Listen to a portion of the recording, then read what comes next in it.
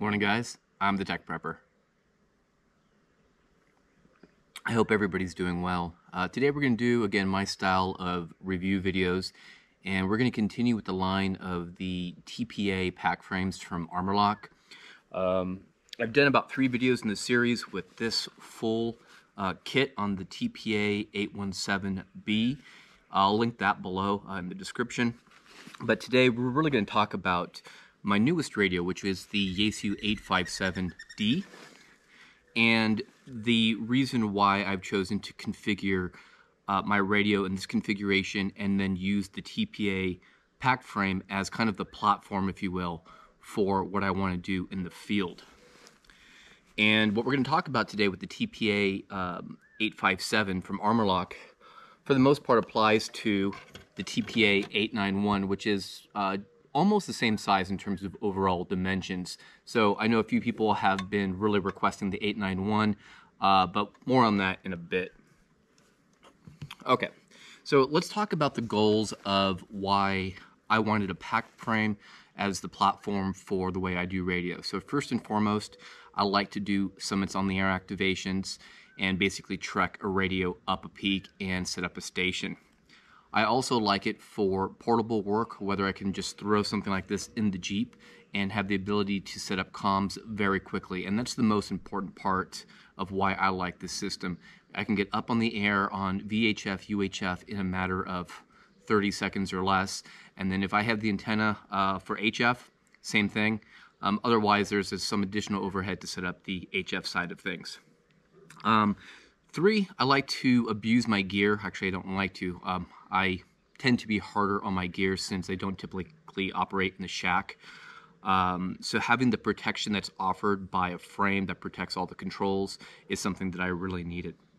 So in my mind, the uh, TPA pack frames, and here's the 891 as an example, um, they offer lots of protection and accessibility to all the controls, uh, protection on the uh, back of the rig for uh, all of the connectors so they don't get dinged, lots of airflow, plenty of attachment points uh, to attach other gear to it.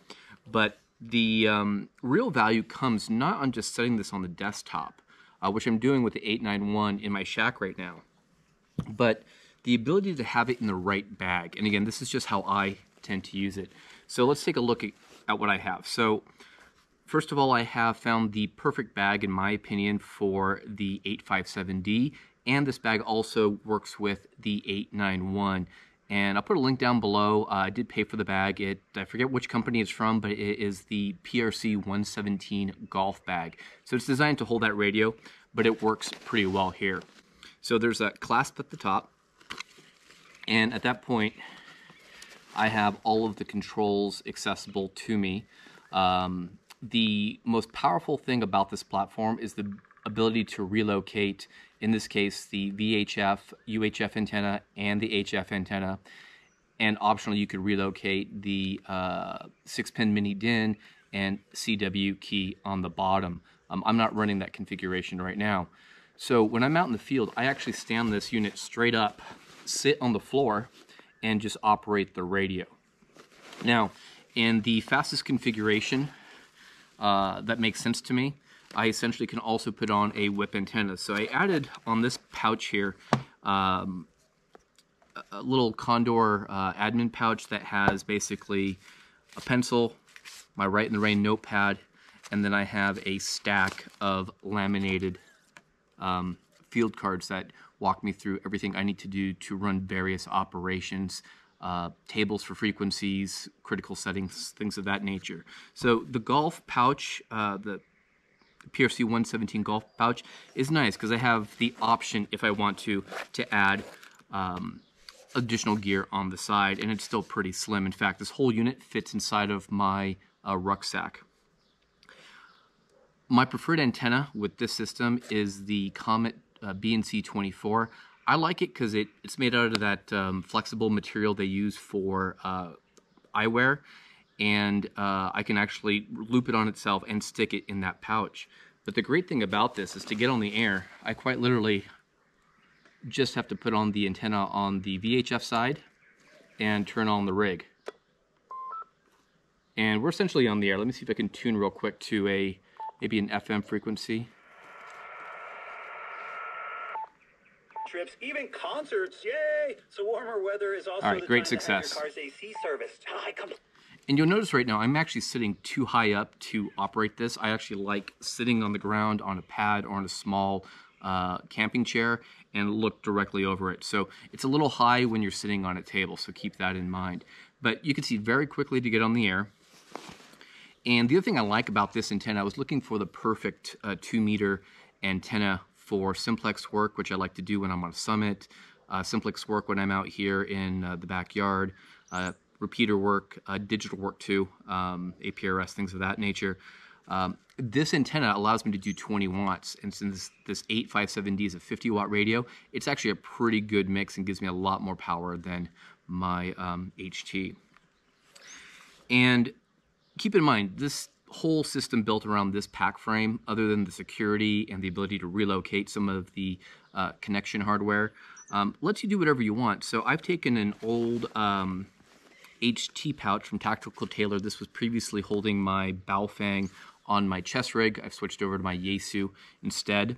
And I'm actually using it now to hold the, uh, the hand mic. So it's a really nice place for me just to be able to drop the cable in and cinch this down and basically have the ability to run uh, FM, uh, voice, or SSB, uh, whatever I want to do.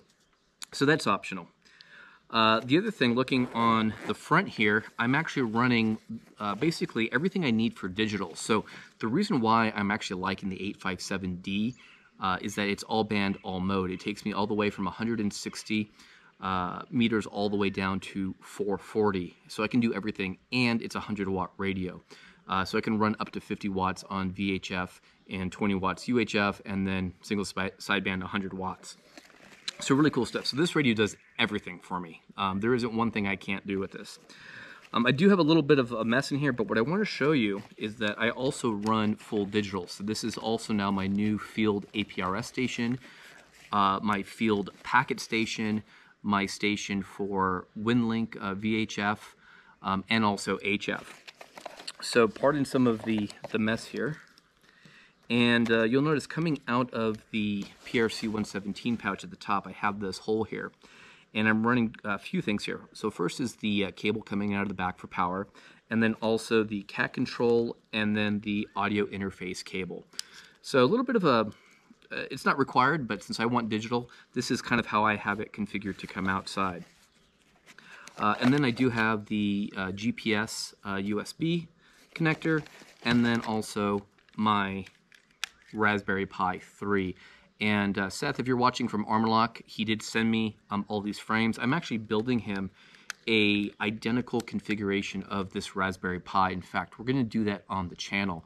And all right, I decided to do something a little bit different. I'm actually going to show you um, how I can take down uh, this pack, and maybe you can get a sense for um, how slim it can be run. So I'm going to take off the uh, Condor admin pouch with the MOLLE.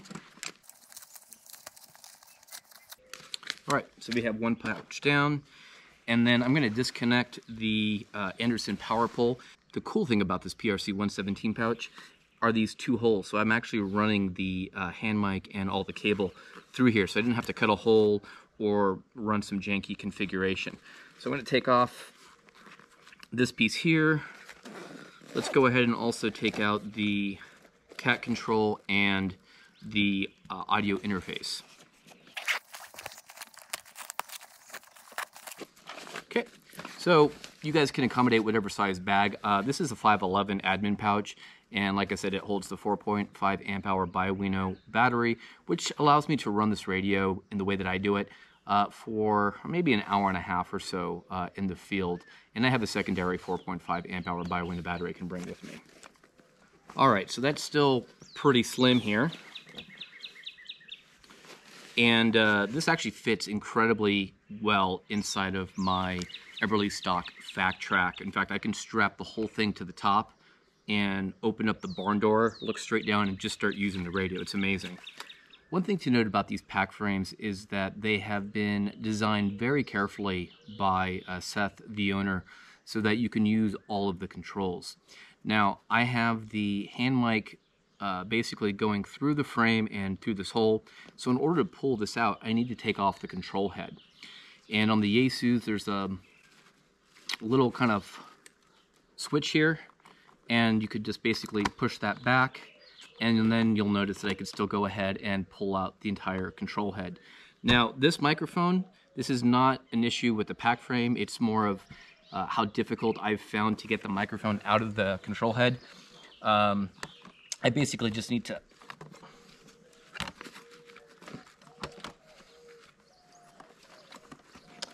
get this cable up. And my fingers are fat.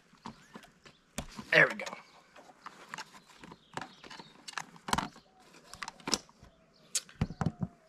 And let's go ahead and put the, the head unit back on. There we go. All right, back in business. The um, PRC pack frame actually has, um, or the PRC uh, golf pouch has more MOLLE in the back, so you can even attach this to uh, the outside of your sack if you want to. And uh, has got D-rings too for um, strapping it to other gear, like maybe your chest rig, for example. But the other reason why I like the pouch I went with with the TPA pack frame is that it has a zipper compartment, and this is designed for the PR117 Golf radio, which allows you access to the battery. But what this allows us to do is access all of the cables here without taking the entire radio out of the pouch. So really cool stuff. And all I'm going to do now is unplug our um, cat control, or actually our audio interface, and then cat control. And now I can go ahead and unthread all this stuff here. All right. So now we have the, the basic uh, pack frame all removed here. Uh, so a few things to note. Uh, one of the most, powerful features is one, you're fully protected. Um, I think even George from PackTenna was referring to this as a roll cage. I haven't dropped it yet, but um, could be doable. Um, again, there are relocation mounts that you can mount anywhere on the hardware, anywhere you find a slot like this. It's just standard um, M-LOK uh, kind of attachment points.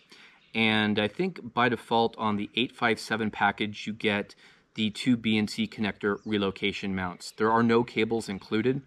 Uh, I actually found a couple cables that worked really well. Um, I have a beefier one that I'm using for lower loss on uh, VHF, UHF, and then a thinner RG316 for HF. And I think the runs that have worked well with this were a 12 inch cable. Uh, I think 10 inch might be a perfect, perfect fit. And then you could strap these cables down to uh, the frame if needed.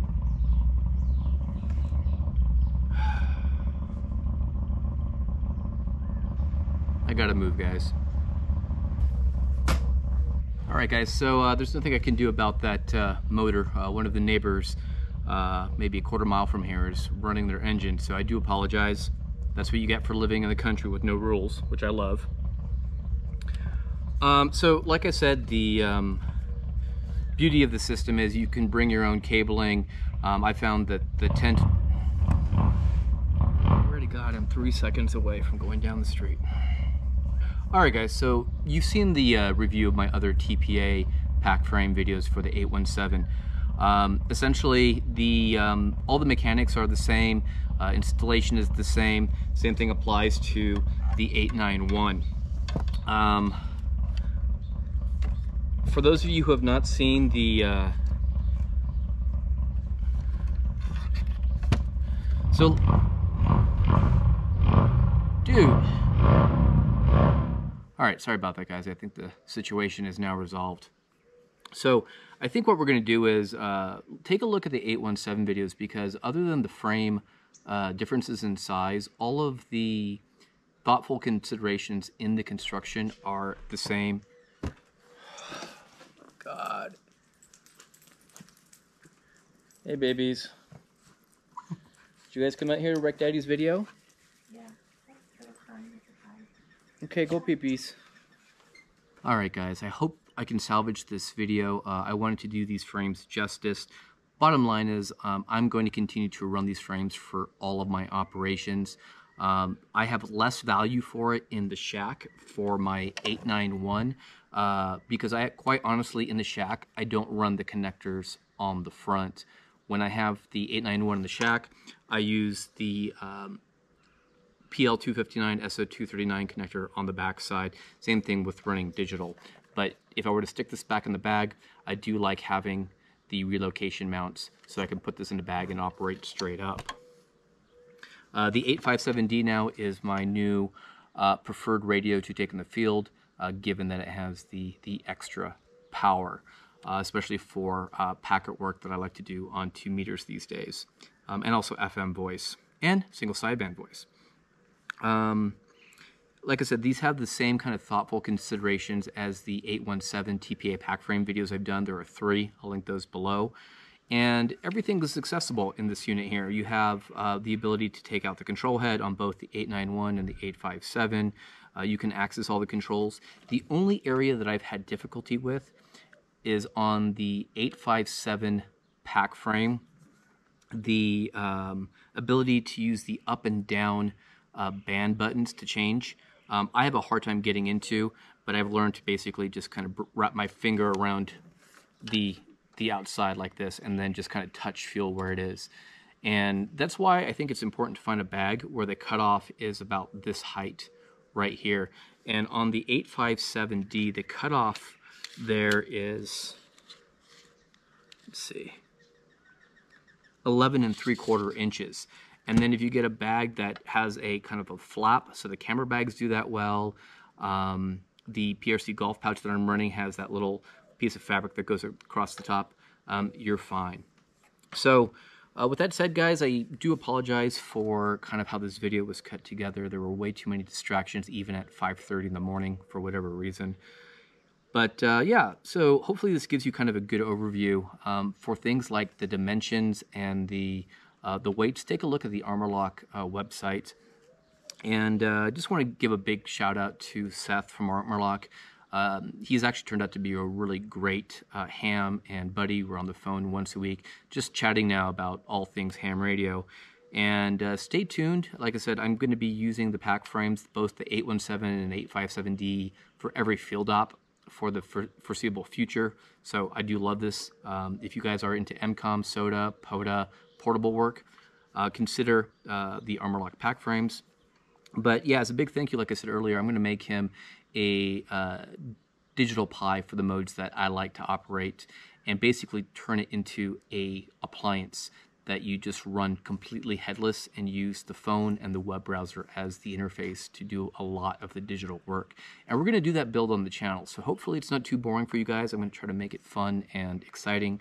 But uh, with that said, guys, uh, my apologies for how this was cut together, and um, hope you guys are all doing well. Be strong, be safe, and be prepared.